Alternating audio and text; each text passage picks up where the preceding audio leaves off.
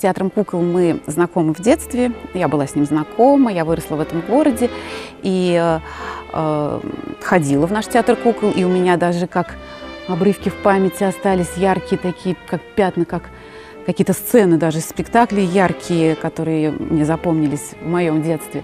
Но потом я про него, естественно, забываю, потому что потом увлекаешься, идешь в ТЮЗ, у нас прекрасный в городе ТЮЗ, сейчас он Самарт.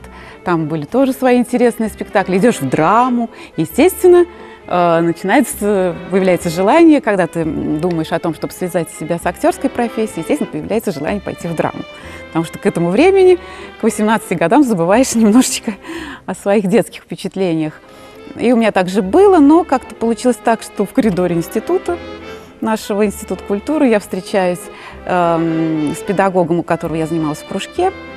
Э, вот, и она меня отводит к режиссеру э, нашего театра тогда, Владимир Иванович Куприн, вот, который вот, э, меня посмотрел, как-то меня так сразу со мной поговорили.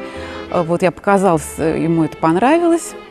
Ну, вот, и как-то я так вошла вот в мир театра кукол. До сих пор стоит в памяти «Стойкий оловянный солдатик». Был великолепный спектакль, великолепный актер. И я с ним потом встретилась на сцене, к своему счастью. А, Дмитрий Иванович Павлов играл вот, в этом спектакле. И вот остались вот эти вот вспышки впечатлений. Конечно, такой мысли не было, что я буду на этой сцене.